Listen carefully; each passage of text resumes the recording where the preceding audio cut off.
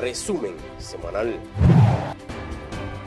La Dirección Nacional de Ventanilla Única del MIBIOT ha aprobado 220 trámites de planos de proyectos en construcción y 398 en anteproyecto bajo la norma RBS a nivel nacional. Este reporte registrado de julio de 2019 a septiembre de 2021 detalla que con los planos de construcción aprobados se podrían beneficiar 51.852 familias que apliquen al programa del Fondo Solidario de Vivienda.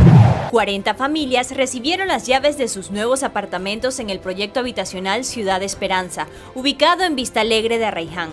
La entrega de llaves se llevó a cabo en la Torre 34, donde se beneficiaron más de 50 personas en condición de pobreza multidimensional, discapacidad, adultos mayores y movilidad reducida.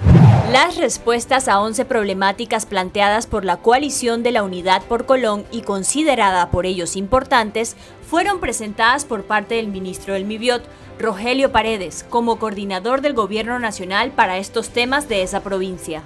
Soluciones habitacionales entre viviendas completas y remozamientos entregó el Gobierno Nacional encabezado por el presidente de la República, Laurentino Cortizo Cohen, a las familias de bajos ingresos económicos ubicadas en el corregimiento de Alcalde Díaz y Chilibre, en el área norte del distrito y provincia de Panamá.